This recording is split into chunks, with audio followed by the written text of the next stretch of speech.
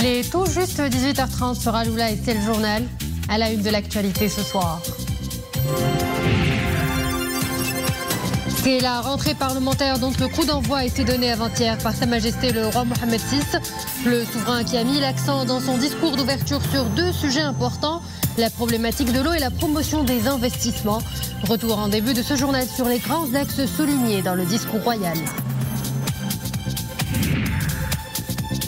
Nous nous intéresserons ensuite à ce que les scientifiques qualifient de la découverte du siècle en astronomie. Une exceptionnelle éruption cosmique qui a été détectée par plusieurs observatoires à travers le monde, dont celui de Lukaïden. Une première dont nous parlera en direct le directeur de cet observatoire marocain d'astronomie.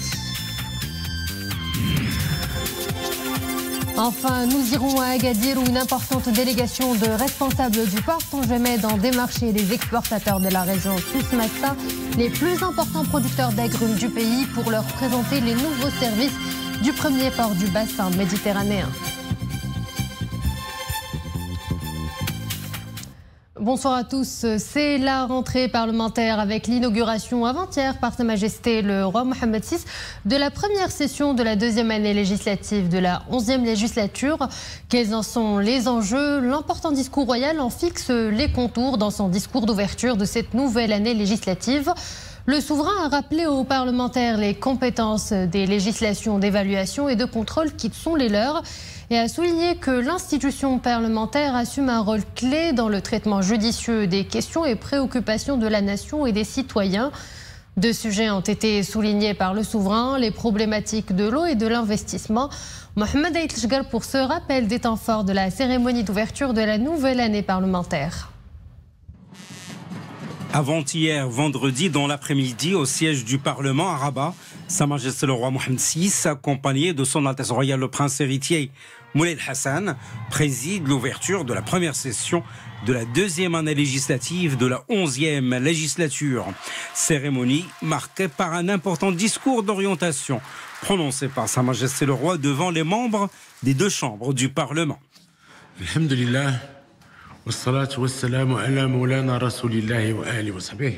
Et dans ce discours, le souverain met l'accent sur deux sujets importants. Le premier concerne la problématique de l'eau et les défis urgents et futurs qui s'y rattachent. Le second porte sur la nécessité d'opérer un bon qualitatif en matière de promotion de l'investissement. Concernant le premier sujet, le souverain appelle à un traitement diligent de la problématique de l'eau dans toutes ses dimensions, et notamment à une rupture avec toutes les formes de gaspillage ou d'exploitation anarchique et irresponsable de cette ressource vitale, soulignant que le problème de l'eau ne doit pas servir de prétexte à la surenchère politique ni d'argument pour alimenter des tensions sociales. Le souverain souligne la nécessité d'assurer une gestion optimale de la demande en concomitance avec les réalisations en cours en matière de mobilisation des ressources hydriques, expliquant qu'à moyen terme, il conviendra de renforcer la politique volontariste de l'eau et de rattraper le retard dans ce domaine. Sa Majesté le Roi explique que le devoir de responsabilité impose désormais des choix durables et intégrés, ainsi que davantage de solidarité et d'efficacité dans le cadre du nouveau plan de l'eau. Sa Majesté le Roi met notamment l'accent sur quatre principales orientations. La première est relative à la nécessité de lancer des initiatives et des projets plus ambitieux par le recours aux innovations et technologies nouvelles. La deuxième porte sur l'exploitation rationnelle des eaux souterraines et le non-recours au pompage illégal et au creusement depuis anarchique. La troisième orientation explique encore Sa Majesté le Roi consiste à garder à l'esprit que la question de l'eau n'est pas l'affaire exclusive d'une politique sectorielle isolée, mais qu'elle constitue une préoccupation commune à de nombreux acteurs. Et quatrièmement, ajoute encore Sa Majesté le Roi, il est indispensable de prendre en compte le coût réel de l'eau à chaque étape de mobilisation de cette ressource, de considérer ce que cela implique en termes de transparence et de sensibilisation aux différents aspects de ce coût. Sa Majesté le Roi rappelle également l'adoption par le Maroc dès le mois de février dernier de mesures d'anticipation visant à garantir la disponibilité de l'eau potable, à soutenir les agriculteurs et à préserver le bétail ainsi que l'élaboration du programme national prioritaire de l'eau 2022 2027. Pour ce qui est du deuxième volet du discours royal, Sa Majesté le Roi met l'accent sur l'intérêt tout particulier qu'attache le souverain à l'investissement. Sa Majesté le Roi souligne que chacun doit rester mobilisé et afficher une attitude responsable à l'effet de promouvoir ce secteur vital pour l'essor de notre pays. Aujourd'hui, nous misons sur l'investissement productif en tant que levier essentiel pour la relance de l'économie nationale et l'ancrage du Maroc dans les secteurs prometteurs, explique Sa Majesté le roi Mohamed VI, émettant le souhait que la nouvelle charte de l'investissement donne une impulsion tangible à l'attractivité du Maroc pour les investissements privés, tant nationaux qu'étrangers. Pour atteindre les objectifs souhaités, le souverain exhorte le gouvernement, en partenariat avec les secteurs privés et bancaires, à traduire leurs engagements respectifs dans un pacte national pour l'investissement. Notant que ce dispositif vise à mobiliser 550 milliards de dirhams d'investissement et à créer 500 000 emplois au cours de la période 2022-2026.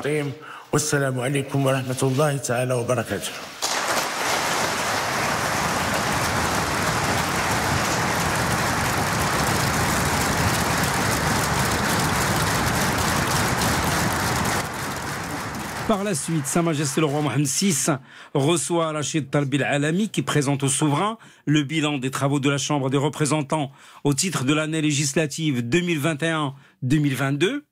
Sa Majesté le roi reçoit ensuite Namiara qui présente au souverain le bilan des travaux de la Chambre des conseillers pour l'année législative 2021-2022. Le souverain reçoit également Mustafa Beitas, ministre délégué chargé des relations avec le Parlement, porte-parole du gouvernement, qui présente à Sa Majesté le Roi le bilan de l'action du gouvernement dans ses relations avec le Parlement pour l'année législative 2021-2022. Sa Majesté le roi Mohamed VI préside ensuite une réception organisée en l'honneur des membres des chambres des représentants et des conseillers à l'occasion de l'ouverture de la première session de la deuxième année législative de la onzième législature.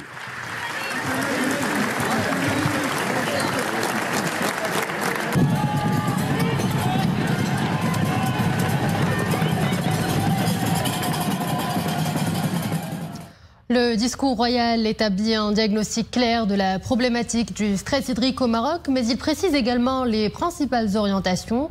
Les stations de dessalement de l'eau constituent l'une des solutions et des innovations technologiques qui sont les plus en vue, utilisées en agriculture comme nous allons le voir à Choukait Baha, les eaux de dessalement des eaux de mer permettent de réduire la pression sur la nappe phréatique. Ce sont plus de 12 000 hectares de superficie agricole qui sont correctement ainsi irrigués. C'est un reportage de Hijbtam, Mustafa Ouda et Maria Aouad. Pallier le manque d'eau tombée du ciel en misant sur celle venue de la mer. Tel est l'objectif de la nouvelle station de dessalement de la province Chouka et Dessaler l'eau de mer pour accroître la ressource en eau, irriguer les cultures et diminuer la pression sur les nappes phréatiques pour une agriculture performante rendre l'eau potable et penser un nouveau modèle de développement face aux aléas climatiques. Ce projet de désalinisation des eaux de mer est un immense chantier. Il va beaucoup aider les agriculteurs à irriguer leur exploitation. Nous souffrons beaucoup du manque de pluie et nous sommes heureux de la mise en service de cette station de dessalement des eaux de mer. Le dessalement de l'eau de mer se fait à travers deux techniques. La première consiste à pousser l'eau sous haute pression à travers une membrane qui retient jusqu'à 96% des particules de sel. La seconde méthode consiste à faire évaporer l'eau de mer pour la rendre potable en utilisant les rayons solaires ou en chauffant l'eau dans une chaudière. On appelle cela la distillation. 1200 hectares vont pouvoir être irrigués à partir de cette eau de dessalement. La station produit actuellement 43 millions de mètres cubes d'eau et sa capacité sera portée avec les travaux d'extension à 73 millions de mètres cubes d'eau, ce qui permettra d'irriguer davantage de superficie agricole. Ainsi, nous passerons de 12 000 à 15 000 hectares irrigués au niveau de 1300 fermes agricoles avec 95% d'eau provenant des fonds marins. La désalinisation de l'eau de mer apparaît comme une solution durable pour faire face au stress hydrique. À toute problématique, une solution, avec pour seul maître mot l'adaptation, afin de repenser un modèle de développement durable. Le peuple marocain célèbre aujourd'hui le 47e anniversaire de l'annonce par feu Sa Majesté Hassan II de la glorieuse Marche verte. Une étape phare de l'histoire du Maroc contemporain et qui a suscité un élan patriotique inégalé pour le parachèvement de l'unité territoriale du royaume. En pareil jour d'il y a 47 ans, le 16 octobre de l'année 1975, Feu Sa Majesté Hassan II avait annoncé la marche verte qui a abouti à la libération des provinces du Sud, et ce suivant la confirmation par la Cour internationale de la justice de la haie de l'existence de liens juridiques et d'allégeance entre les sultans du Maroc et les tribus sahraouis. Un tournant décisif dans la réalisation de l'intégrité territoriale du royaume qui restera jamais gravé dans les annales des exploits du peuple marocain dans sa glorieuse lutte contre le joug colonial.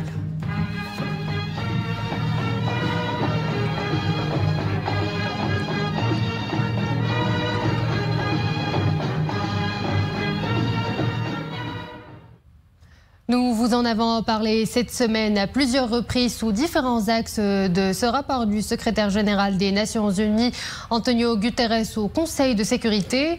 Ce soir, nous nous intéressons à la partie consacrée à la MINURSO.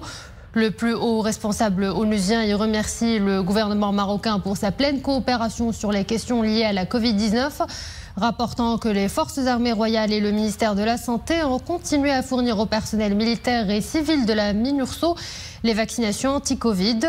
Monsieur Guterres met également en relief la pleine coopération et la communication continue au niveau stratégique entre la MINURSO et les forces armées royales, y compris à travers les nombreuses visites du commandant de la force de la MINURSO et du commandant de la force par intérim au quartier général Forces armées royales entre novembre 2021 et août de cette année 2022.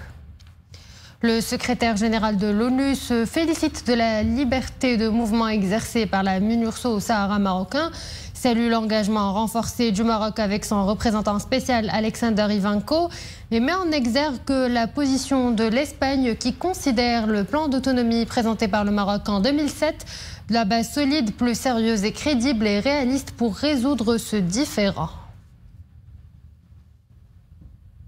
À l'Assemblée Fonds monétaire international Banque mondiale qui se tient à Washington, la directrice générale du Fonds monétaire international, Kristalina Georgieva, en visite au pavillon du Maroc, a souligné l'importance de l'édition 2023 à Marrakech. Une édition qui servira de grande opportunité pour mobiliser la communauté internationale face aux multiples crises auxquelles le monde est confronté. Le pavillon du Maroc a été mis en place au siège du FMI à Washington dans le cadre des assemblées annuelles FMI Banque mondiale. Parlons astronomie à présent avec cette nouvelle découverte. Une exceptionnelle éruption cosmique a été détectée. Une découverte historique à laquelle a participé l'observatoire de Lukaimden relevant de l'université Qadi de Marrakech. Un sursaut record de rayons gamma, cette éruption de rayons gamma la forme la plus intense de rayonnement électromagnétique a été observée la première fois par des télescopes en orbite terrestre le 9 octobre. Et sa lumière résiduelle continue d'être étudiée par des scientifiques à travers le monde.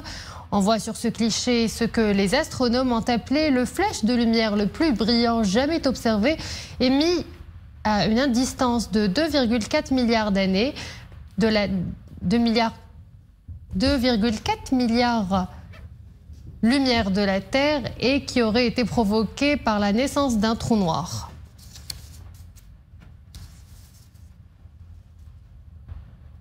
Il s'agit là du flèche de lumière spatiale le plus brillant jamais observé. Aurait-il été provoqué par la mort d'étoiles géantes de plusieurs dizaines de la taille du Soleil et donc peut-être la naissance d'un trou noir? Pour nous éclairer, nous avons avec nous en direct depuis Marrakech le professeur Zohair Ben Khaldoun, astronome et directeur de l'Observatoire d'astronomie de Lukaimden, qui participe à cette découverte historique de l'éruption cosmique exceptionnelle. Alors, professeur, expliquez-nous ce qui a été détecté. Ah, bonjour, merci euh, pour l'invitation. Euh, comme vous l'avez si, bien dit, c'est un, formidable flash euh, qui a dégagé une euh, forte émission de rayonnement gamma, le rayonnement le plus intense qu'on puisse mesurer. Et grâce à la participation de l'Observatoire de Leukemden à plusieurs consortiums qui traquent, qui suivent ce genre d'événements, nous avons été alertés et tout de suite après, nous avons braqué les télescopes de l'observatoire, en particulier deux d'entre eux, un qui s'appelle MOS et l'autre HAO. Et nous avons effectivement, à trois nuits de suite, pu euh, détecter euh, ce phénomène-là. Alors c'est un phénomène euh, qui peut avoir en fait plusieurs origines c'est l'une euh, que nous attribuons au phénomène actuel et euh, une explosion d'une étoile à neutrons euh, son ultime étape de vie et qui va s'éventrer sur elle-même pour former un, trou noir. Alors c'est un scénario qui arrive pour les étoiles les plus massives et celle-là serait estimée à 30 fois euh, la masse euh, du Soleil. Et, donc, c'est un, un, phénomène aussi que le, premier du genre de, de, notre euh, vie, de notre connaissance, et on estime que ce genre de phénomène n'arrive qu'une fois par siècle. D'où donc l'importance historique de cet événement et, et, la chance que nous ayons pu y assister depuis l'Observatoire de Kimben allez-vous continuer à scruter le ciel dans les semaines à venir euh, pour confirmer l'hypothèse sur l'origine du flash Peut-être une supernova, une étoile qui a explosé pour libérer le flash? Alors, ce que nous allons faire, c'est surtout euh, continuer à étudier les données, parce que euh, actuellement, avec les capacités des télescopes que nous avons à l'observatoire, le flash n'est plus visible. Enfin, le phénomène n'est plus visible. il s'est déjà éteint. Et par contre, euh, la base de données constituée par, euh, par les consortiums dont j'ai parlé tout à l'heure, c'est des consortiums qui, euh, qui, euh, qui, sont constitués par plusieurs observatoires autour du monde. Nous avons rassemblé euh, des quantités énormes de, données qui vont maintenant être étudiées du point de vue théorique pour savoir euh, pour, préciser, en fait, euh, les hypothèses commencent déjà à être là, mais pour préciser les conditions de formation de ce probable trou noir. Et quel est l'impact euh, attendu de cette découverte sur la science? Alors l'impact, il est double. D'abord, euh, ça confirme euh, d'une certaine manière les théories qui sont élaborées de, de, de ce qu'on appelle la nucléosynthèse, la naissance, la formation des étoiles, leur naissance et puis leur fin de vie. Et, euh, en plus, comme, comme j'ai dit, ce phénomène est tellement intense qu'il a été ressenti même à l'environnement terrestre, avec des perturbations euh, heureusement pas trop, pas trop euh, grave, disons, de notre environnement. Mais, mais ce genre de, d'événement, s'il était prévisible, euh, permet à l'avance de, de, de, se protéger, si on peut dire, ou du moins euh, de se prémunir euh, du point de vue des télécommunications. Alors ça, c'est euh, du côté pratique, mais vous savez, les astrophysiciens, les astronomes se, se, s'intéressent plus au côté fondamental, au côté physique de la compréhension de notre univers. Donc les vraies retombées immenses pour nous, c'est de pouvoir avoir vous savez, l'astronomie n'est pas mise en laboratoire en général. Le laboratoire, c'est le ciel. Et donc, nous avons la chance de pouvoir euh, avoir des informations qui nous viennent du ciel, que nous pouvons analyser pour peaufiner nos, nos hypothèses et pour avoir plus euh, d'informations scientifiques sur la formation de, des étoiles et, de et par-delà de notre univers.